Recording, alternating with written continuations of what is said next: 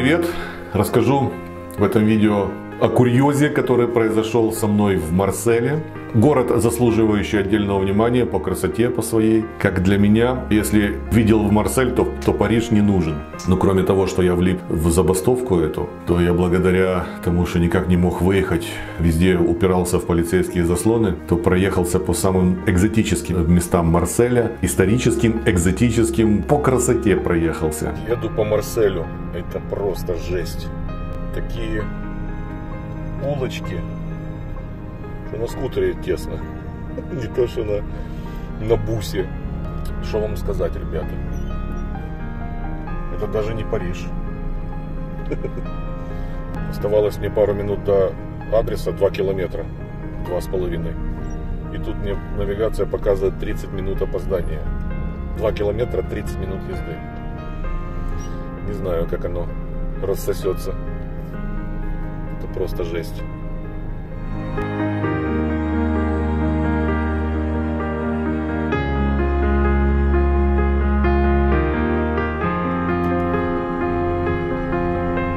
Полиция тут, оказывается, все создала.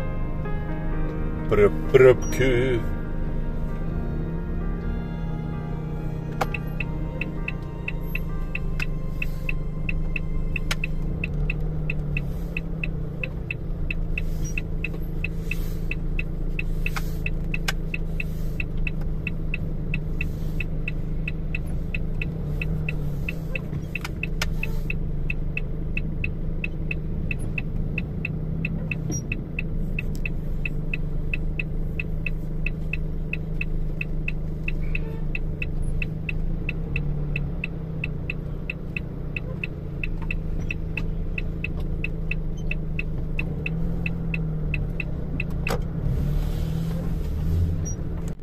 Все понятно, это демонстрация. Забастовки и все такое. Вот я и влип, очкарик.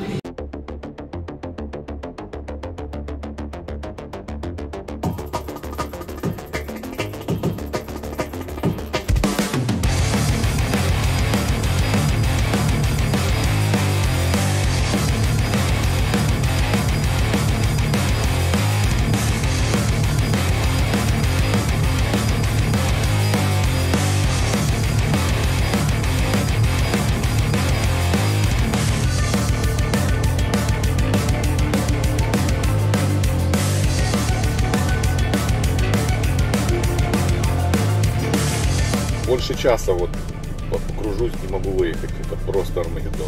Навигация ничего не показывает. Сворачиваешь, даже показываешь, что дорога перекрыта, она все равно тебя круг делает опять туда ведет. Вместо того, чтобы приехать раньше, я должен был на полчаса раньше приехать. Специально заложился на все пробки, на все заложился.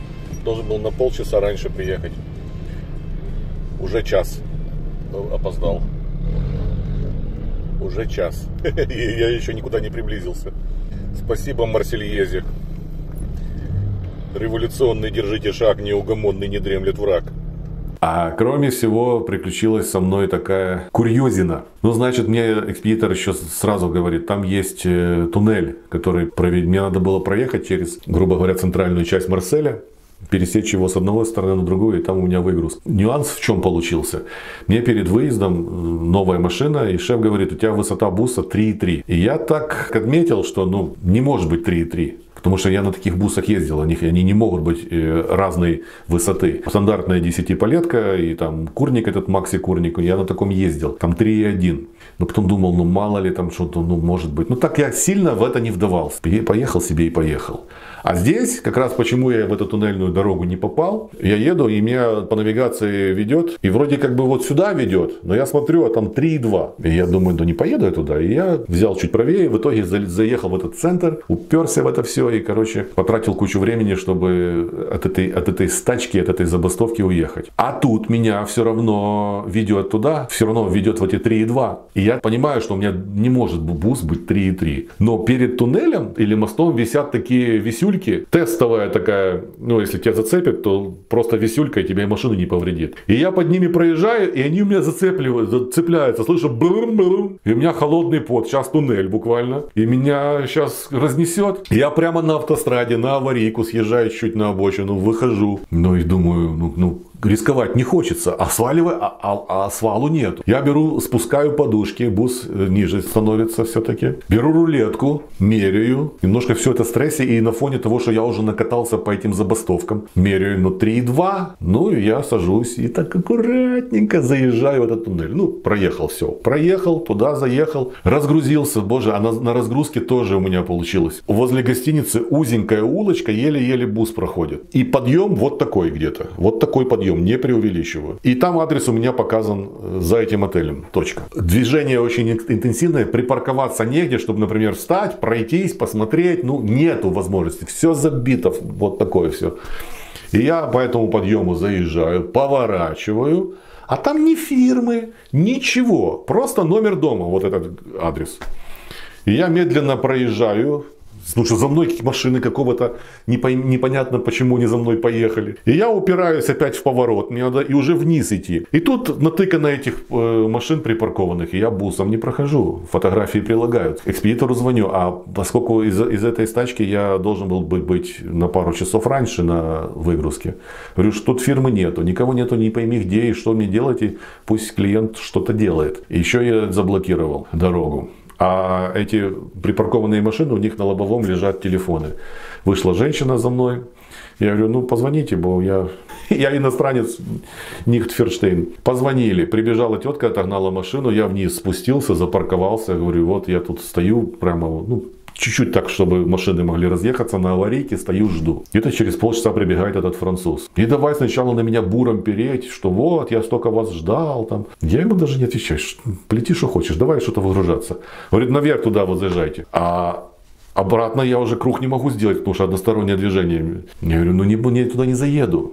И задом не заеду, и передом, и никак не заеду. Но долго выясняли. А он еще и с собакой. Короче, вот садится ко мне с этой собакой. Она мне столько шерсти натрусила в машину. Садится в бус, и мы начинаем квартал объезжать, чтобы опять вернуться и опять туда заехать. И там у него гараж, в который, а я вез электробайки, электровелосипеды. Он эти велосипеды должен сгрузить. В итоге мы заблокировали дорогу, выгружали эти велосипеды. А пока ехали по, этим, по кварталу, чтобы объехать и опять вернуться, то мы с ним разговорились. И Марина, э, потом я жене рассказываю, она говорит, наверное, он необразованный.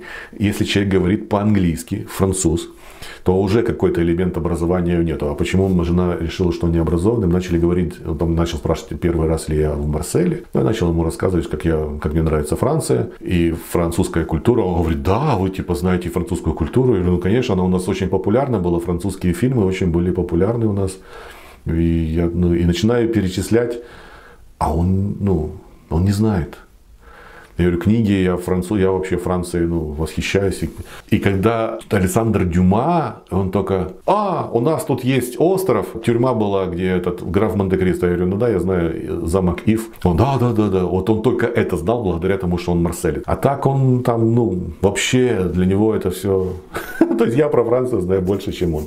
Ну, неважно, то такое. Поговорили, мы пообщались, там уже он не нервничает, уже все спокойно. Разгрузился я, и опять же эту улочку, и опять вниз, а уже те, кто баба это отъехала, уже кто-то другой уже машину поставил. И опять я не могу выехать, опять собрал пробку. Опять ходили, звонили. Короче, через какое-то время пришел мужик, отогнал машину. И я с этого Марселя выехал. Выезжаю, и мне опять надо ехать через туннель. А я же выгрузился, и машина поднялась. Я опять под этими висюльками проезжаю, и они опять...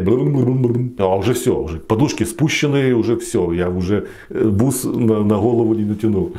И я так по миллиметру заезжаю на аварийке, благо там никто мне не сигналит, ничего заехал. В итоге что? Конечно, бус это у меня скорее 3,1, чем 3,2, но допустим 3,2. А вот эти висюльки, я уже такое, я уже понял, я раз так в Нанте тоже э, и перепугался, они висят ниже.